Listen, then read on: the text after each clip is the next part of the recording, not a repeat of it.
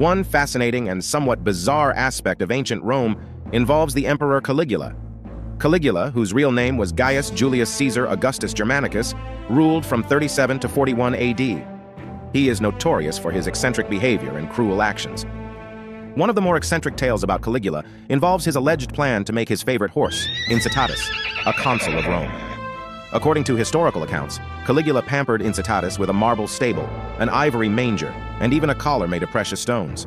It is said that he would entertain guests and dignitaries in the company of his beloved horse, and there were rumors that he intended to appoint Incitatus as a high-ranking political official. While the historical accuracy of this story is debatable, it has become one of the more colorful anecdotes associated with Caligula's reign, highlighting the emperor's unpredictable and extravagant behavior.